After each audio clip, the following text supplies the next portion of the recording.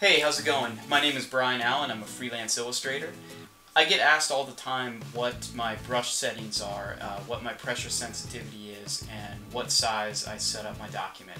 So I just wanted to make a really quick video showing you how I set up a document, what my brush settings are, and what the pressure sensitivity is that I use. Alright, so I'm going to open up uh, Clip Studio Paint right here and we are going to go to the Wacom settings menu and bring this up. Um, I have uh, different pressure sensitivity for different programs, okay? So in Clip Studio Paint, I like to work one step above firm when I'm inking. So the tip feel would be right here. Sometimes I'll actually take it one step further okay? But usually this is fine for me, and this really helps me get a much uh, more, it allows me to get more control from thick to thin when I do it this way. On the flip side of that, when I'm using the pencil tool uh, or the airbrush tool, when, when I'm either sketching or coloring artwork, I always bring it back down to here, okay? But we'll leave it there for now. Um, none of this other stuff you've got to change, okay? Now in Photoshop, I find it to be actually the opposite. For some reason, um, I usually, it was there for a second, but usually I have it in the middle or even one step towards soft.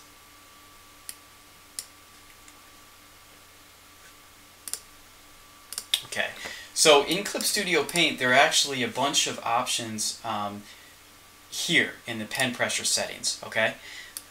I've actually tried playing with this before, and I did not like the results. Um, it really, and in fact, there were some things, could have been my imagination, but there were some things that I felt like it made the program buggy.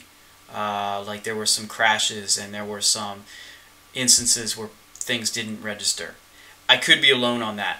If anyone else uses this menu and uh, has success with it, let me know um, because I'd like to give it another shot if it if it works right?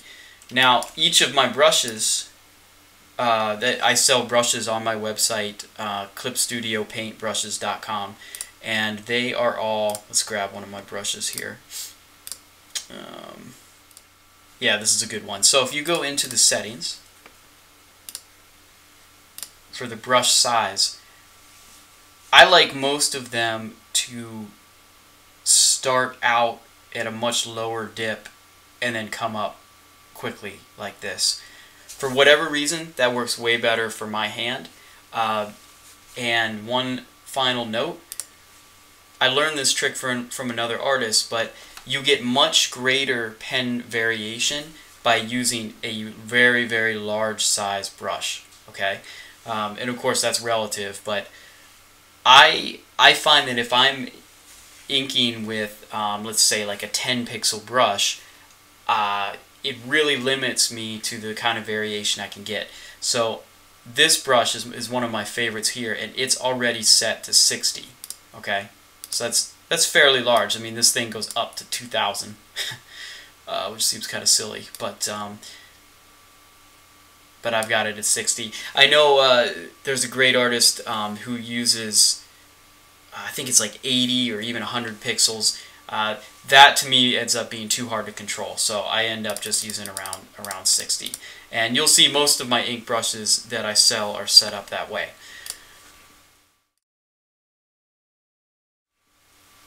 For new documents, um, I've explained this in a, a couple other videos, but I always, when inking, work at 600 dpi. Okay, and I work at full size. Well, what does full size mean? Uh, full size means, to me, the way it's going to print out. So if I'm working on a t-shirt that's going to be printed at 13 inches by 19 inches, then my document will be 13 inches by 19 inches at 600 dpi. Okay. Now 600 dpi is overkill because for a t-shirt, uh, the maximum you need is just 300 dpi, and in fact, a lot of t-shirt printers only need 200, sometimes even 150. All right, um, but by working at a 600 dpi resolution, and again, could be my imagination, but I have heard this from a lot of other artists. You get you get a lot more variation in the brush size, and it seems like you get more control. Uh, the downside of this is that if you do not have a fast computer, uh, this is going to slow it down, right? So I can work at documents of 20 inches by 20 inches at 600 dpi um, with no problem. If you're interested to see what kind of setup I use, if you go to my website, I have a frequently asked questions section that outlines all the hardware um, that, that I'm using uh, specifically. Right now I'm using uh, one of the newer iMacs. Um, okay, then when I go to coloring, I always down res it to 300. Right? Why do I do that? Uh, the reasons I just explained. Basically, 600 is overkill. You don't need that high of a resolution. And when you start painting using the airbrush or blending tools, those tools require a lot more um, processing power. So if you're working at 600 dpi at a 20 inch document, then um, it's gonna it's gonna ruin your day, right? Okay, and, and one really quick final note. Uh, a lot of people have asked me why uh, my brushes have like a pixelated edge. And let's zoom way in. I mean, we're zooming way the heck in. This is like 400%. Um, and this document is already quite big. What you see here is kind of like a, a jagged uh, anti-aliased edge, right? When I ink, I almost always select right here, none. So no anti-aliasing, right? There's a couple reasons I do that. Um, one, this was one way the digital comic book artists used to work uh, or I probably still do, but when they would scan in their inks on paper, they would convert it to a bitmap. So things were either 100% white or 100% black. And what this did was it made the coloring and the flatting process a lot easier because you can very easily make selections. Um, and I'll, let me show you something real quick, right? All right, let me demonstrate this here. So let's just draw a circle nice circle, right? Um, with anti-aliasing turned off. So it's got that jaggy edge, right? Let's add a little bit of aliasing here, or, or just to demonstrate, I'm going to add a lot, okay? And we're going to draw the same circle. Now these two circles look the same from here, you know? Um, and when we go in, you can see that this one actually reminds you kind of more of a Photoshop brush stroke, right? and this one is jagged. This would appear as if you were using the pencil tool in Photoshop. Um, the pencil tool is is a anti-alias brush. It's just black or white, period. There's no gray. There's nothing in between, right? So when we try to use, um, when we try to fill something in here, let's grab our paint bucket. Just make sure all the settings are okay. Um,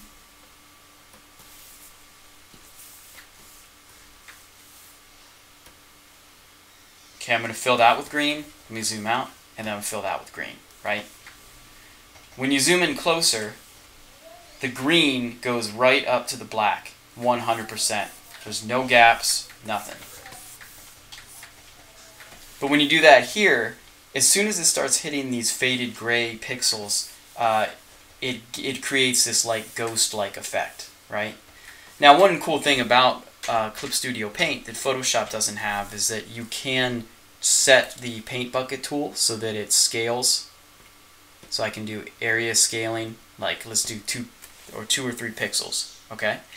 Um, that will grow the selection into your ink. So that is one way to get around it, but I personally just prefer to work anti-aliased anyway because of the second reason. The second reason is when this ink, when this line art prints, um, it's going to be extra sharp all right, it's going to look uh, much better, especially when you print it at a smaller size, okay? It's real easy for us to zoom in here and, and think that this looks like garbage. But when this is printed at, you know, let's say, okay, like this. This would be printed on a t-shirt. This is what you're looking at. Neither of those examples look any different. But when they're printed out, the anti-aliased one is going to be a bit sharper looking.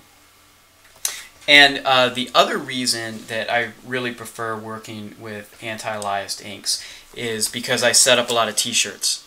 And when you're working with t-shirt uh, t-shirt artwork, a lot of times you're going to have to uh, remove the line art. You're going to have to knock out the line art from the rest of the artwork because let's say for example you're printing on a navy blue shirt and you want to have the line art not be black, but actually be the dark color of that navy blue.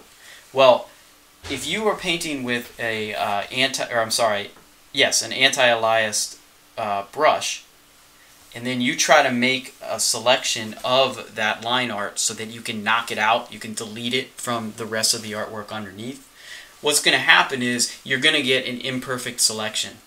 Now when you're zoomed out, you may not know the difference, but when it comes down to it, it's going to create just enough of a little bit of a ghosting that it might cause you problems when you're printing. The reason I like to draw with uh, alias brushes is that I find for whatever reason the computer processes those lines much faster.